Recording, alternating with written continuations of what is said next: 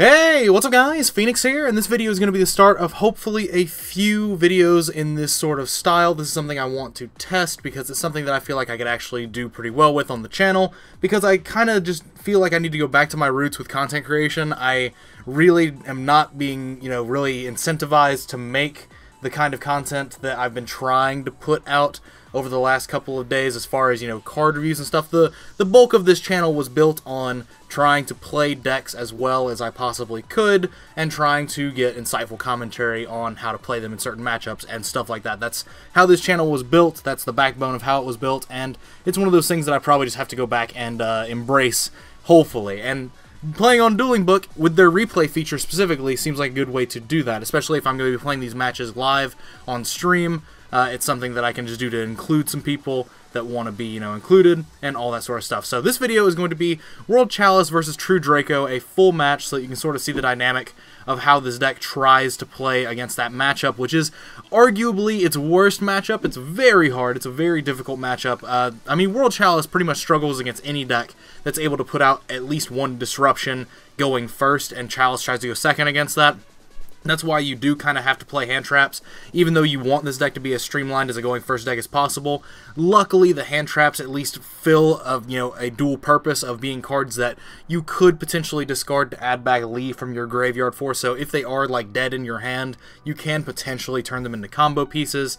Uh, that's especially true with like the Heralds and the Eva specifically because Herald is a level 2 light fairy for transmodify, so that is something that can be made live.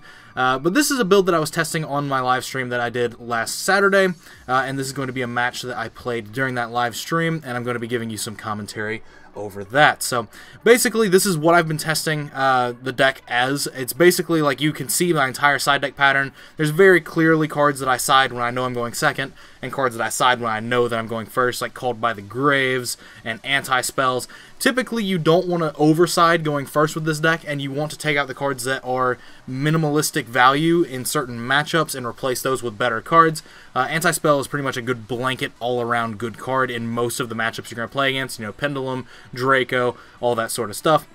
And then you have the obvious cards that are, you know, swapping out cards that are not good going second, like the Kyoutou Waterfronts, uh, the Eva package, uh, and like taking out like a transmodify or something, and inciting into you know more hand traps, taking out the waterfronts, putting in an extra kaiju so you can potentially you know have good you know things against the Master Peace matchup, which you're about to see, and then cards like evenly matches and twin twisters and Raigeki Dark Hole to be just you know, clearing cards. There's definitely a lot more cards you want to side out when you're going second than going first. But I'm going to stop talking about this deck. Uh, this is my most current list if you're interested, uh, but I'm just going to stop yammering on about it because you should know how this deck operates at least a little bit by now if you've watched any of the stuff on my channel.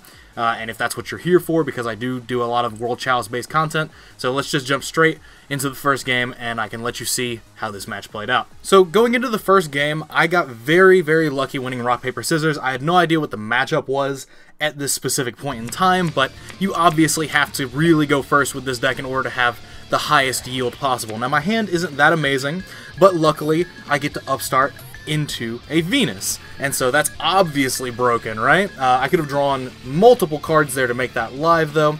I could have drawn into uh, potentially Brilliant Fusion. I could have drawn to Brilliant Fusion. I could have drawn into uh, Transmodify to Transmodify with a Shine Ball. There's a few different things I could have drawn to make that hand really good and live, but Venus was definitely the best draw because Brilliant Fusion would have been a really weird play uh, involving reviving Venus with Auram. I would have had to use my World Legacy World Chalice early.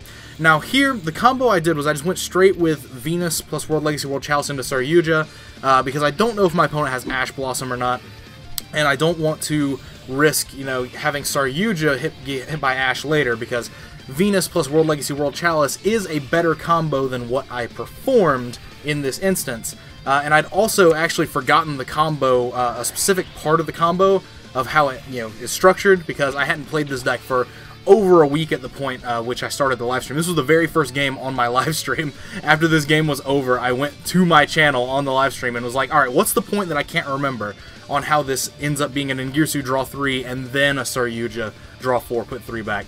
It's, you know, even when you play this deck nearly as much as I have and as much as I do, you tend to forget things if you don't touch it for an extended period of time. So I ended up only going for a Saryuja draw 4, and then went for an Ningirsu draw 2 afterwards, both of which, both of those plays being masked from Ash Blossom, the Saryuja draw being masked from Ash because of World Legacy World Chalice. Didn't really care if my World Legacy World Chalice gets ashed if I'm resolving Saryuja, and then the Ningirsu was masked from Ash Blossom, uh, which at this point I'm positive he didn't have because he would have definitely ashed the World Legacy World Chalice, but that's besides the point. So I end with a set E-Tele and a Kyoutou Waterfront, and this is the point where I find out that I'm playing against True Draco. I negate his first Disciples with my Gameciel, and then when he plays his second Disciples, I flip over my E-Tele, summoning Ghost Ogre for my deck. And this is why I really like E-Tele in this deck. During your own turn, it's a combo piece to get you chosen by the World Chalice as a vanilla, as a starter card potentially.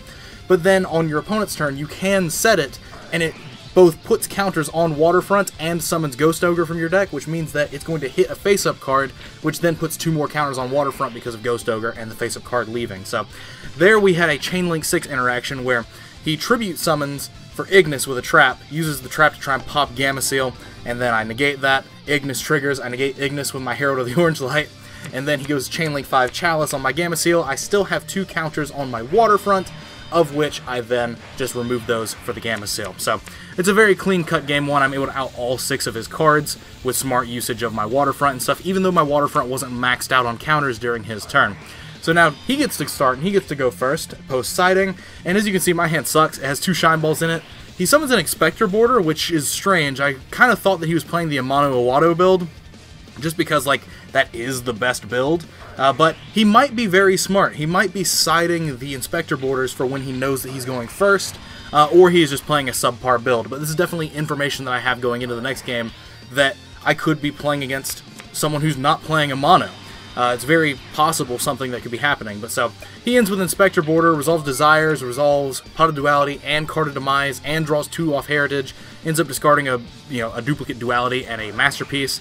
And at this point, my hand has two different ways to turn off that Inspector Boarder, but I really don't want to turn off the Inspector Boarder. One, because I know that he has an Apocalypse set, because he searched it, so I know that it's live to at least half monsters. Um, and I'd want to kill the Majesty Maiden before I really trigger it because that Majesty Maiden is being turned off by his own border, and if I let him search, he's going to search a Master Peace, and he's going to drop it, and then I have no out to it in my hand. So I had the Brilliant Fusion and the E-Tele that could have turned off the Inspector Boarder, so I tried to make, you know, Imduk to attack into the Majesty Maiden, hoping they didn't have duplicate traps, but he ended up having duplicate traps. So, next game. I start, and my hand is very lackluster, but it has Anti-Spell in it, so I set my anti-spell, and set the three spells that I want to activate next turn, should I draw a monster, a combo starter, or whatever, and I open Duplicate Called by the Graves. So I flip my anti-spell, he sets his hand, passes turn, I top deck Venus. Broken.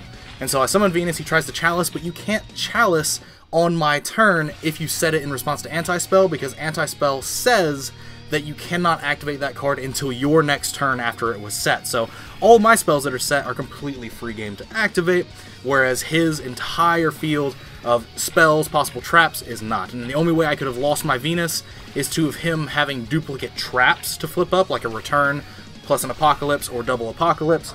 Uh, so at this point, I know that he doesn't have double Apocalypse, or you know double trap because at that point he would have used that to out my Venus and end my turn and then probably kill me next turn. So at this point I'm just trying to play to the best of my ability. He tries to Ash Blossom me. My set called by the grave gets him there. I flip my set uh, emergency teleport to get the Chosen out of my deck, which I specifically did not summon off my World Legacy World Chalice. You may have wondered why I summoned Lee and Guard Dragon, even though Lee had already used its effect.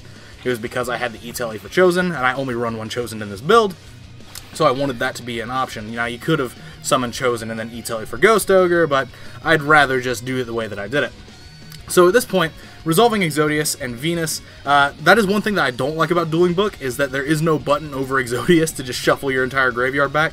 There's convenient buttons on things like Desires and left, uh, and uh, that grass looks greener to, you know, banish 10 cards face down, or to mill an exact number of cards comparable between your deck and your opponent's. That's very good coding. I wish that Exodius had some sort of coding like that where you could hover over it and it shuffles all your monsters back. You can like you could click that option. Uh, but, I mean, that might just be way too hard to code. But at this point, I used the Ningirsu's effect to send Send, and I send his Apocalypse to Grave, so there's, I mean, he used to pop my Venus, but at this point I have game on board by swinging with Exodius and dumping a Vanilla. Obviously, I don't want to activate the Soul Charge, which I can't even activate unless I send the anti-spell. I thought that I might, you know, anti-spell him sending the Chalice that I knew was there, but I figured I would hit the center card just to, you know, be a, uh, a honorable duelist and not just hit the card that I know isn't a card with a grave effect. Uh, but took a risk, but it was fine because I still had game on board. He had to either hit my one of my big dudes on the field or hit my Venus to prevent me from summoning two more Shine Balls from deck, and he chose to hit the Venus, so at that point, I just had game on board. So it was a very interesting match, considering Game 3 I didn't get to play turn 1. Uh, I could have played turn 1 and then, you know, possibly gotten blown out by an Amano-Iwato, but that's kind of what Anti-Spell sort of is used against is that anti-spell is actually just the best card against Amano-Iwato because they have to commit their normal summon to a mono and if you have anti-spell up sure it's turning off your entire board but they can't Raigeki you dark hole you. They can't get additional tribute summons for their spells because they have to set them all that sort of stuff and then by the time that my turn rolls back around where they could you know activate their traps or whatever that they're setting the Amano is back in their hand.